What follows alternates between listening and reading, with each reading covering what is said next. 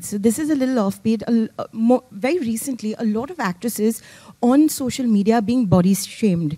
You know, either for their complexion or for the dresses that they wear. Be it Priyanka Chopra, Deepika Padukone, and more recently, Fatima Sana Sheikh has been, uh, you know, receiving a lot of um, flack for, uh, you know, wearing a swimsuit during the month of Ramzan.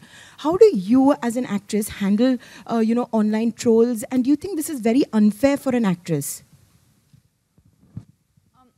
You know, honestly, I think uh, my take on social media is you should take the positivity, accept people's opinions, and just avoid the criticism or avoid the negativity. That's honestly the simplest way that I go about it, and I think that's that's just what you need to do. You're on it, I think, for for the interaction with the people who are your well-wishers, who are your supporters. Sometimes you get good feedback, good information, and uh, that's that's what I think you need to you need to pay attention to. You don't need to pay attention to any of the negativity or the criticisms.